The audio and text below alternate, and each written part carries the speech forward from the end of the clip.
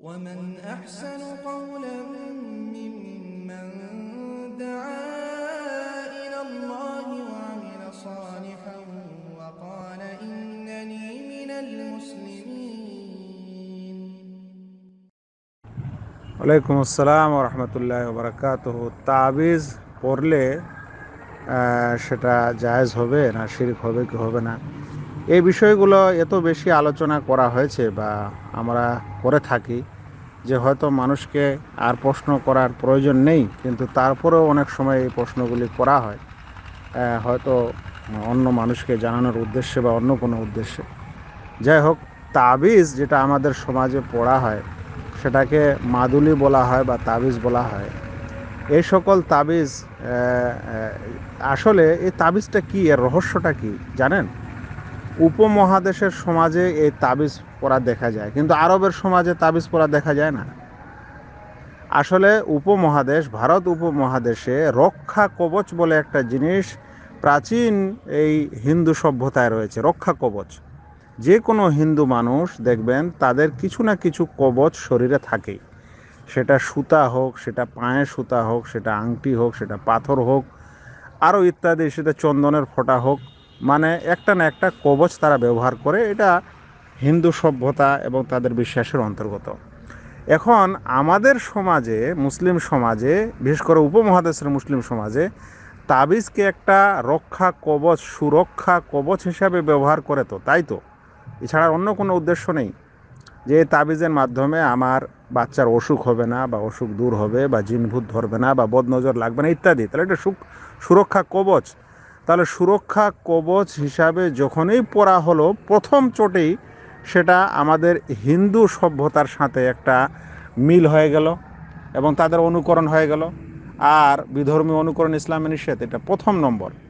দ্বিতীয় নম্বর কথা ভাই, তাবিজের সম্পর্কে ক্লিয়ার হয়ে যান যে তাবিজ যেটা গলায় পরা হয়, সেটা হয় কোরআন, হাদিসের দোয়া দ্বারা তাবিজ পড়ছে মানুষ।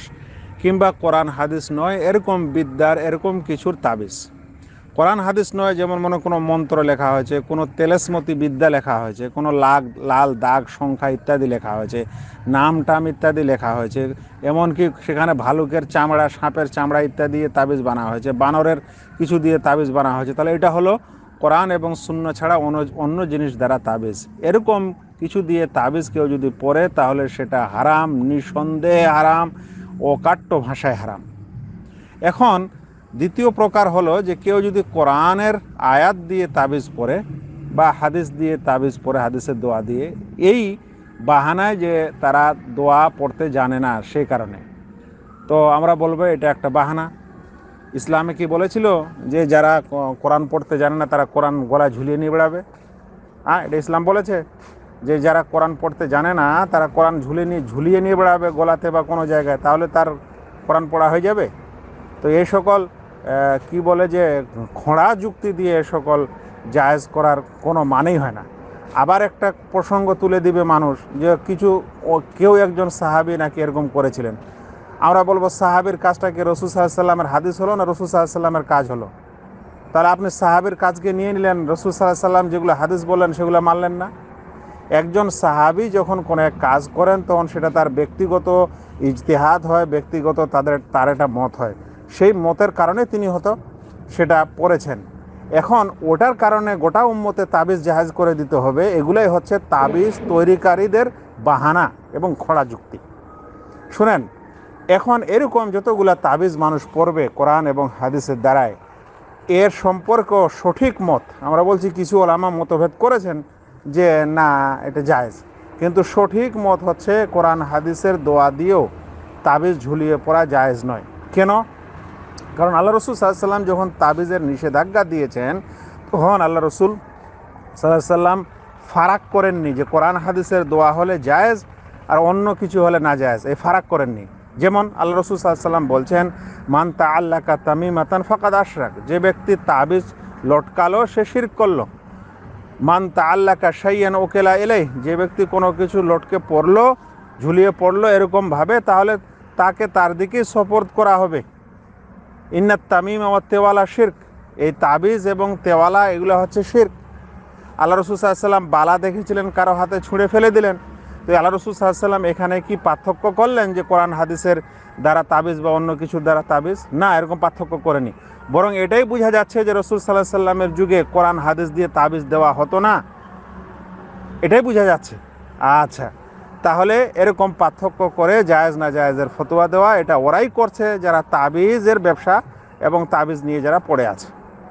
তৃতীয় কথা, যেটা আমাদের ক্লিয়ারলি বুঝতে হবে যে যে সকল মানুষেরা এখন তাবিজ পড়ে সেটা এই হারাম জিনিসের হোক বা আর অন্য কিছুর হোক, যদি সে বিশ্বাস করে, তাবিজ যে পা পড়ে সে যদি বিশ্বাস করে যে এই তাবিজটাই স্বয়ং তাকে ভালো বা মন্দ করে আর একবার বলি, এই তাবিজটাই স্বয়ং তাকে ভালো বা মন্দ করে, তাহলে এটা বড় শির্ক ইসলাম থেকে বের হয়ে যায়।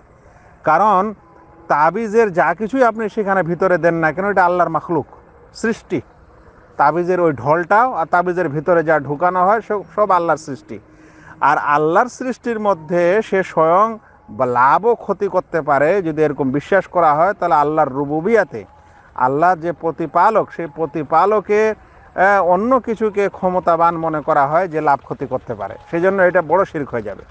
কিন্তু কেউ যদি তাবিজ পরে আর তাবিজ পরাটাকে ভালো হওয়ার মাধ্যম মনে করে বা মন্দ থেকে বাঁচার মাধ্যম মনে করে যেটাই কিন্তু বিশ্বের অধিকাংশ মানুষের এই তাবিজ বা রক্ষা কবচ পরিধানকারীর বিশ্বাস। যখন কোনো মানুষ তাবিজ পরে তাকে যদি আপনি জিজ্ঞাসা করেন যে, ভাই, কেন পড়েছেন এটাই কি আপনাকে ভালো করছে? না, আল্লাহ ভালো করছেন। তাহলে বলে যে, না, এটা ওসিলা, এটা মাধ্যম, আল্লাহ ভালো করেন। তাহলে যারা এরকম ওসিলা মনে করে, তারা ছোট শির্ক করে। আর ছোট শির্ক করে ইসলাম থেকে বের হয় না। কিন্তু সে ছোট শিরকারী বড় গুণাকারী। তাই আমাদের অধিকাংশ তাবিজ পরিধানকারীরা ছোট শিরকারী কারণ অধিকাংশের বিশ্বাস এটা ওসিলা, এটা আসলে ভালো মন্দকারী নয়। তাহলে এরকম ছোট শিরকারী যারা হয়, তাদেরকে বুঝাতে হবে, দাওয়াত তাবলিক করতে হবে। মানুষ যতখানি বুঝছে, বুঝবে, যতখানি ছাড়ার ছাড়বে, যতখানি মানুষ বুঝবে না, তার তার দায়ভার আল্লাহ তালার উপর, তার দায়ভার সে নেবে। আল্লাহ তালা তাকে যা ব্যবস্থা করার আল্লাহ রাবুল আলমিন তাকে সে শাস্তি দিবেন। কিন্তু অনেক মানুষ এই ব্যাখ্যা না দিয়ে এক চেটিয়া তাবিজকে শিরিক বলে দিয়ে ওর পিছনে নামাজ জাহাজ নয়, ইত্যাদি নয় করে একটা সমস্যা তৈরি করে দেওয়া, এটা ভুল জিনিস। আবার কিছু মানুষ একেবারে শিথিলতা অর্জন করে চুপ থাকা, এটাও ভুল জিনিস। আমরা বলব, তাবিজকে যদি স্বয়ং ভালো মন্দকারী মনে করে, তাহলে সেটা বড় শির্ক। তাবিজকে যদি ভালো মন্দের ওসিলা বা মাধ্যম মনে করে, তাহলে সেটা ছোট শির্ক। আশা করে বুঝছেন। ভিডিওটা যদি ভালো লাগে, বুঝতে যদি সবার সুবিধা হয়, তাহলে আপনারা প্রচার করবেন।